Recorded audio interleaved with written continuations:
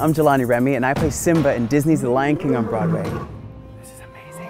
And today I'm at the Bronx Zoo to learn about the real life animals that I portray on stage to get a better glimpse at the true meaning of the circle of life. So Pat, tell us what you do here at the zoo.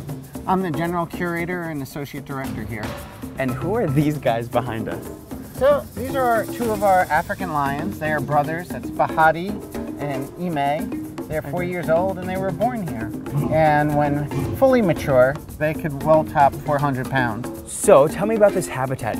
This exhibit actually opened way back in 1941 and it's significant because it's the first predator-prey exhibit ever built in the United States. We exhibit a predator, in this case lions, alongside prey species, and we try to do it in such a way that the barrier that separates them is not visible to the, the viewer.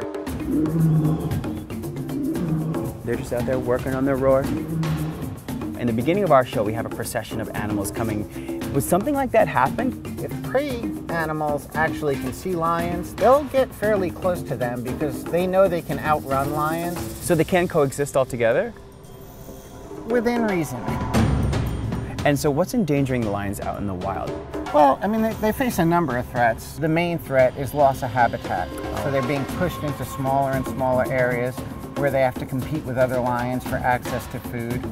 The best thing you can do is to become better informed about the threats facing lions. And one way to do that is to go to the Wildlife Conservation Society's website at wcs.org and see what we're doing to help preserve lions and their prey throughout Africa.